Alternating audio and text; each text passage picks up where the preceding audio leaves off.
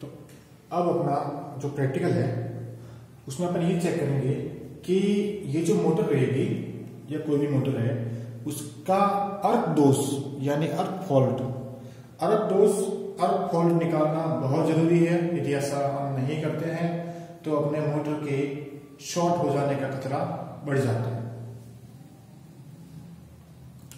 तो यहाँ पर देख लेते हैं।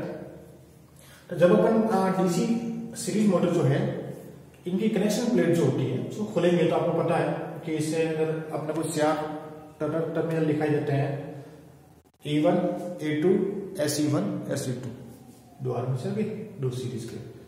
तो ये आपको चार टर्मिनल दिखाई देंगे। अब अर्थ फॉल्ट जो होता है, उसको जाँच करने के लिए अपने पास जिस इक्विपमेंट ज़रूरत पड़ती है, उसका नाम है मेगर उसका नाम है मेगर आपका ये मेगर रहेगा उससे अपन अर्थ फॉल्ट चेक करते हैं। तो अपन इसकी थोड़ी उसके अंदर जो भाग है उसको अपन यहाँ साइड में बना लेते हैं। जैसा आपके पास यहाँ एक तो आर्मेचर रहेगा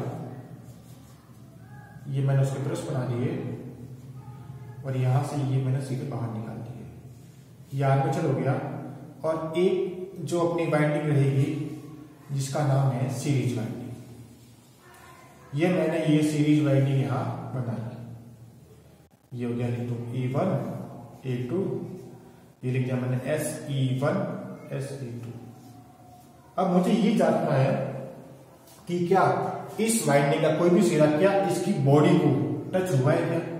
या फिर आर्मेचर का कोई भी भाग या उसके अंदर की जो वाइंडिंग रहती है वो इसको टच हुई है क्या? अगर ऐसा होता है तो इसकी जो बॉडी है उसके ऊपर भी सप्लाई आती है। जिसका क्या होता है, या हाथ देने पर आपको झटका आ सकता है। चलिए देखते हैं, अपन जाँच क्या, कैसे करेंगे।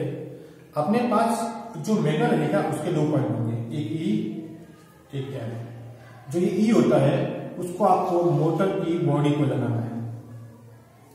और जो एल रहेगा, वो आपको जो टर्मिनल बॉक्स जो आपने खोला है उसके जो चार सिरे हैं, उनमें से किसी भी एक को लगाना है। वन बाय वन आपको चेक करना है। जैसे मैंने ये लगा दिया एस ई टू को। और जैसे ही मैं इस मीटर को ऑन करूँगा तो ये क्या करेगा? अपनी डिस्प्ले पर कोई ना कोई रिकॉर्डिंग कोई ना कोई रीडिंग शो करेगा।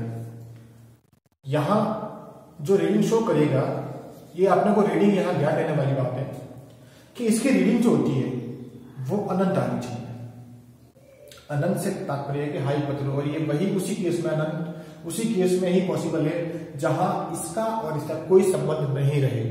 तब आपकी रीडिंग मेगर में अनंत आती है। तो यदि आपकी सीरीज़ वाइंडिंग इसका कोई भी भाग बॉडी को टच नहीं है तो इसका और इनके बीच का कोई संपर्क नहीं रहेगा, उस समय मेगर आपकी रीडिंग अनंत बताएगा। तो हमने जो चेक किया, मान लेता रीडिंग अनंत आई जब अनंत आती है तो अपन इसको मान लेते कि सही है। अपना बॉडी शॉर्ट नहीं है। ऐसे टूस चेक किया, फिर आप ऐसे टूस के बाद आर्मेचर पे चेक कर लीजिए। क्या बेटा आपका आर्मेचर जो है, वो कहीं ना कहीं बॉडी से टच हो तो आप ये भी चेक कर लीजिए, यदि उसकी भी रीडिंग आपको अनंत आती है।